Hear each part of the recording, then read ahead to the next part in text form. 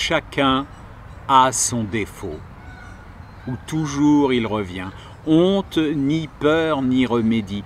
Sur ce propos, d'un conte, il me souvient, je ne dis rien que je n'appuie de quelque exemple, un suppôt de Bacchus altérait sa santé, son argent et sa bourse.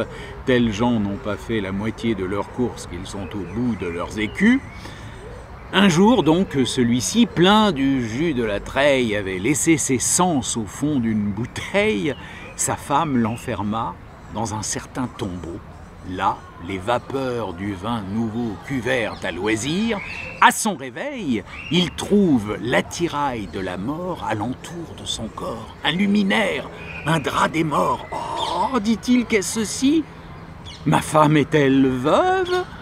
Là-dessus, son épouse, en habit d'alecton, masquée et de sa voix contrefaisant le ton, vient au prétendu mort, approche de sa bière, lui présente un chaud d'eau propre pour Lucifer, l'époux alors ne doute en aucune manière qu'il ne soit citoyen d'enfer. Quelle personne es-tu dit-il à ce fantôme?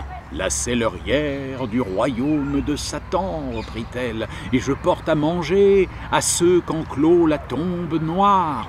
Le mari repart sans songer. Tu ne leur portes point à boire?